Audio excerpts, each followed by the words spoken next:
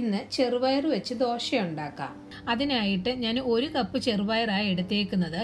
ഇത് ഒരു രണ്ടു മൂന്ന് പ്രാവശ്യം നല്ലതുപോലെ കഴുകിയെടുക്കാം. ഞാൻ നട്ട കഴുകി എടുത്തുകൊണ്ടുവന്നിട്ടുണ്ട് ഇതിലേക്ക് കുറച്ച് വെള്ളം ഒഴിച്ച് ഒരു മൂന്നാൽ മണിക്കൂർ കുതിരാനായിട്ട് ഇടാം.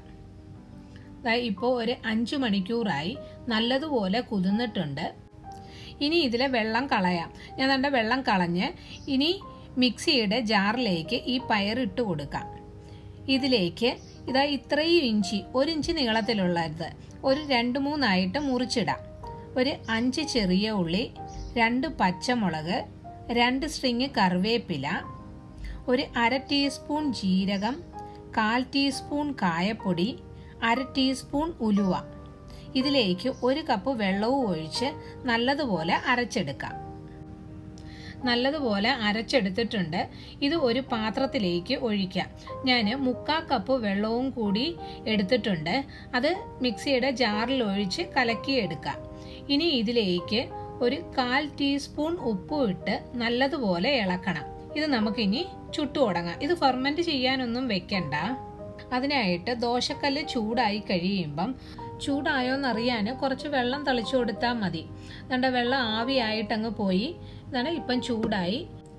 ഇനി ഒരു തവി മാവൊഴിച്ച് പറ്റുന്നത് പോലെ കനം കുറച്ച് പരത്തിയെടുക്കാം. ഒരു ടീസ്പൂൺ നല്ലെണ്ണയോ നെയ്യോ അത് അവരവരുടെ ഇഷ്ടം അനുസരിച്ച് ഒഴിച്ചു കൊടുത്താൽ മതി. ഇപ്പം ചെറുതായിട്ട് ബ്രൗൺ കളർ ആവാൻ തുടങ്ങിയത് കണ്ടോ? ഇനി തിരിച്ചിടാം. തീ മീഡിയത്തിലിട്ടാൽ മതി. ഇതേപോലെ എല്ലാം ചുട്ടെടുക്കാം. ക്രിസ്പി ആയിട്ട് ഇരിക്കാൻ പയർ നാല് മണിക്കൂറേ കുതിർക്കാവുള്ളു. കൂടുതൽ നേരം കുതിർന്നു കഴിഞ്ഞാൽ ദോശ സോഫ്റ്റ് ആയി പോവും. നല്ല ക്രിസ്പി ആയിട്ട് വേണമെങ്കിൽ പയർ കുതിർക്കാൻ ഇടാൻ നേരത്ത് അതിന്റെ കൂടെ പച്ചരി ചേർത്താൽ മതി. ഒരു മൂന്ന് ടേബിൾ സ്പൂണോ അല്ലെങ്കിൽ ഒരു കപ്പിന് അര കപ്പ് പച്ചരിയോ ഒരു കപ്പ് പയറിന് ഒരു കപ്പ് പച്ചരിയും ചേർക്കാം. ചെറുപയർ ദോശ ഇല്ലയോ അതുകൊണ്ടാണ് ഞാൻ അരി ചേർക്കാതിരുന്നത്. പയർ മൂന്നര നാല് മണിക്കൂറിൽ കൂടുതൽ കുതിർക്കാതിരുന്നാൽ മതി. അപ്പോൾ ആവശ്യത്തിന് മൊരിഞ്ഞു കിട്ടും. തീ അതിനനുസരിച്ച് കൂട്ടിയും കുറച്ചും കൊടുത്താൽ മതി. മാവ് ആട്ടാൻ മറന്നു പോവുകയൊക്കെ ചെയ്യുന്ന സമയത്ത് പിറ്റേത്തേക്ക് നമ്മൾ രാത്രിയിലെ പയർ വെള്ളത്തിൽ ഇട്ടിട്ട് രാവിലെ അരച്ച് ഇത് പൊങ്ങാനൊന്നും വെക്കണ്ടല്ലോ. ഉടനെ ചുട്ടു തുടങ്ങാം. ഇത് ഒരു കപ്പ് പയർ വെച്ച് ഇതേപോലത്തെ ഒരു എട്ടൊമ്പത് ദോശ ഇടാം. ട്രൈ ചെയ്ത് നോക്ക്. ഇഷ്ടപ്പെടും.